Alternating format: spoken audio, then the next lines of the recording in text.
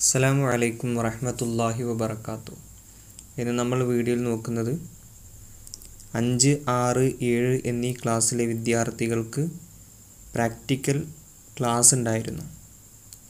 March നാല് അഞ്ച് തീയതികളിലായിട്ടായിരുന്നു practical class ഉണ്ടായിരുന്നത്. ഇനി പ്രാക്ടിക്കൽ പരീക്ഷയാണ് നടക്കാൻ പോകുന്നത്. അപ്പം അതുമായി ബന്ധപ്പെട്ടിട്ട് കഴിഞ്ഞ വർഷങ്ങളിലായി നടന്ന പ്രാക്ടിക്കൽ പരീക്ഷയുടെ പേപ്പർ വെച്ചാണ് കുറച്ച് മോഡൽ ചോദ്യങ്ങൾ ഉണ്ടാക്കിയിട്ടുണ്ട് ഇത് തന്നെ പരീക്ഷയിൽ വരണമെന്നില്ല. നിങ്ങൾക്ക് വേണ്ടി പ്രത്യേകം തയ്യാറാക്കിയതാണ്. അപ്പോൾ നമുക്കറിയാം അഞ്ചാം ക്ലാസ്സിലെ വിദ്യാർത്ഥികൾക്ക് പ്രാക്ടിക്കൽ ചെയ്ത് കാണിക്കേണ്ടതില്ല. അതായത് മയ്യത്ത് നിസ്കാരമാണല്ലോ ആ മയ്യത്ത് നിസ്കാരം ചെയ്ത് കാണിക്കേണ്ടതില്ല. മറിച്ച് അതിന്റെ ചോദ്യോത്തരങ്ങളാണ്. ചോദ്യോത്തരങ്ങളും അതുപോലെ തന്നെ ചൊല്ലേണ്ട ദിക്കറുകൾ ദ്വാഴകൾ അതൊക്കെ ചോദിക്കും. അപ്പോൾ എങ്ങനെയാണെന്ന് നമുക്ക് നോക്കാം. പരീക്ഷയിൽ ചോദ്യങ്ങളുണ്ടാവും. അത് കഴിഞ്ഞിട്ട് താഴെ എന്ത് ചെയ്യും? ചോദ്യപേപ്പറിന്റെ താഴേക്ക് ആയിട്ട് ഇങ്ങനെയൊക്കെ വരാം. മൂന്നാമത്തെ തക്ബീറിന് ശേഷം ചൊല്ലുന്ന ദുആ അതല്ലെങ്കിൽ നാലാമത്തെ തക്ബീറിന് ശേഷം ചൊല്ലുന്ന ദിക്കറ് ഇങ്ങനെയൊക്കെ വരാം. അപ്പോൾ ആദ്യത്തെ പ്രവർത്തനം നോക്കാം. ശരി അടയാളപ്പെടുത്താം. ശരി എന്ത് ചെയ്യുക? ടിക്ക് ചെയ്ത് കൊടുക്കുക. മൂന്ന് ഓപ്ഷൻ കൊടുത്തിട്ടുണ്ടാകും. ഓരോ ചോദ്യത്തിന് നേരെ മൂന്ന് ഓപ്ഷൻ ഉണ്ട്. അതിൽ ശരിയായ കോളത്തിന് നേരെ ടിക്ക് ചെയ്യുക ഒന്ന് മയ്യത്ത് നിസ്കരിക്കുന്നതിന്റെ ഷർത്തുകൾ. ഓപ്ഷൻ ഉണ്ട് അറുപത് മൂന്ന് രണ്ട്. ശരിയായത് രണ്ടാണ്. മയ്യത്ത് നിസ്കരിക്കുന്നതിന് രണ്ട് ഷർത്തുകളുണ്ട്. ഒന്ന് മയ്യത്ത് ശുദ്ധി ഉണ്ടായിരിക്കുക. രണ്ട് ഹാലറായ മയ്യത്തിനേക്കാൾ ഇമാം മുന്താതിരിക്കുക ചിലപ്പോൾ ഉത്തരം എഴുതാമെന്നതിൽ ഇത് രണ്ടും വരും. അപ്പോൾ ഈ രണ്ടും കാണാതെ പഠിച്ചു വെക്കട്ടോ.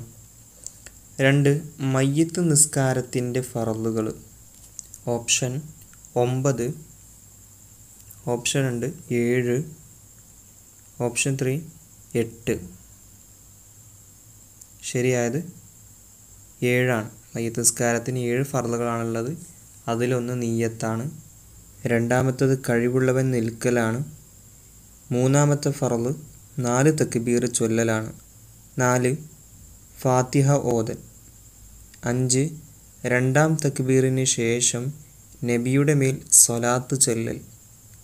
ആറ് മൂന്നാം തക്ബീറിന് ശേഷം മയ്യത്തിന് വേണ്ടി ദ്വാ ചെയ്യൽ. ഏഴാമത്തത് നാലാം തക്ബീറിന് ശേഷം സലാം വീട്ടൽ.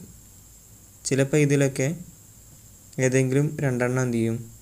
പൂരിപ്പിക്കാൻ തരും. ബാക്കിയുള്ള ഫറലുകളൊക്കെ എഴുതിയിട്ടുണ്ടാകും.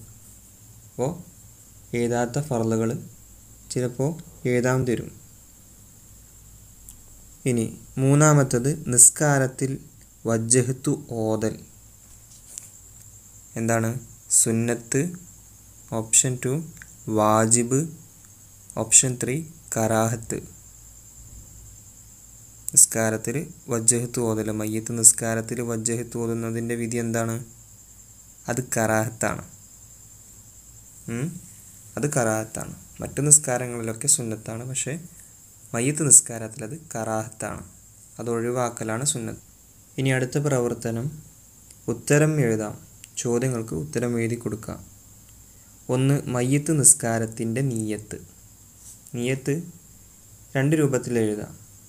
സുന്നത്തുകൾ ഉൾപ്പെടുത്തിയിട്ടുള്ള പരിപൂർണമായ രൂപത്തിൽ എഴുതാം. അതല്ലെങ്കിൽ ഫറലുകൾ ഉൾപ്പെടുത്തിയിട്ടുള്ള രൂപം മാത്രം എഴുതാം. നമുക്കിവിടെ സുന്നത്തുകൾ ഉൾപ്പെടുത്തിയിട്ടുള്ള രൂപം തന്നെ എഴുതാം. അതായിരിക്കും കുറച്ചും കൂടെ നല്ലത്. അപ്പോൾ നീയത്ത് എഴുതുക ഉസല്ലി ഫറല്ല അല ഹാദിൽ മൈ അർബ തക്ബീറാത്തിൻ മുതവജ്ജിഹൻ ഇലൽ ഖിബിലത്തി ലില്ലാഹി തആല മഅൽ ഇമാമി. ഈ മയ്യത്തിന്റെ മേലിൽ ഫറല്ലായത് നാല് തക്ബീറുകളോട് കൂടി കിബിലക്ക് മുന്നിട്ട് അള്ളാഹു താലാക്ക് വേണ്ടി ഇമാമിന്റെ കൂടെ ഞാൻ നിസ്കരിക്കുന്നു.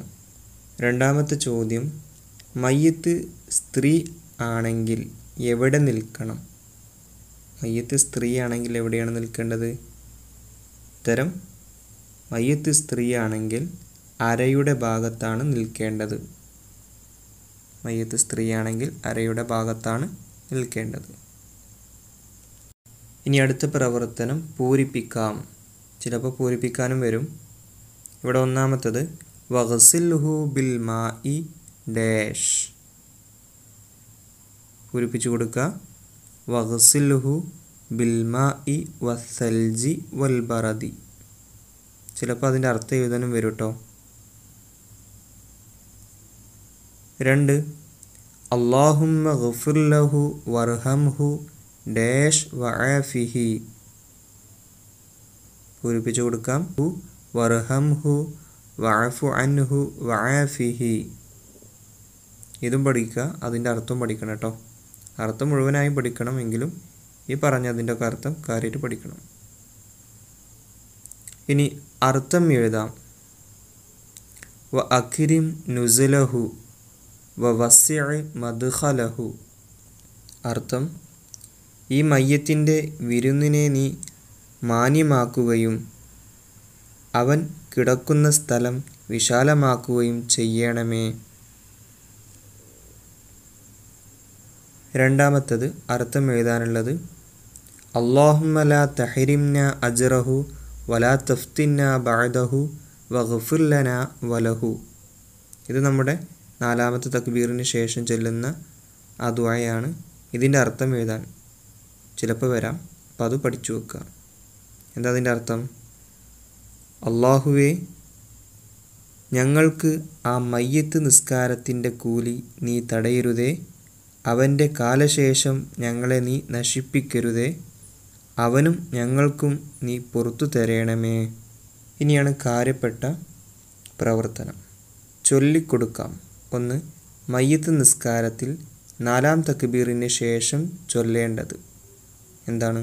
അള്ളാഹുമല തഹരിംന അജറഹു വല തഫ്തിന ബഅദഹു വഗ്ഫുല്ലന വലഹു റബ്ബന ആതിന ഫിദ്ദുന്യ ഹസനത്തൻ വഫിൽ ആഖിറത്തി ഹസനത്തൻ വഖന അദാബന്നാർ അതിക്കറ് ചൊല്ലിക്കൊടുക്കുക രണ്ട് സലാം വീട്ടുന്നതിൽ ചൊല്ലൽ പരിപൂർണമായ രൂപം.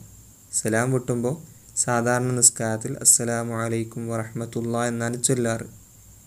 എന്നാൽ മയ്യത്ത് നിസ്കാരത്തിൽ വബറക്കാത്തുഹു എന്നുള്ള കൂട്ടൽ സുന്നത്തുണ്ട്.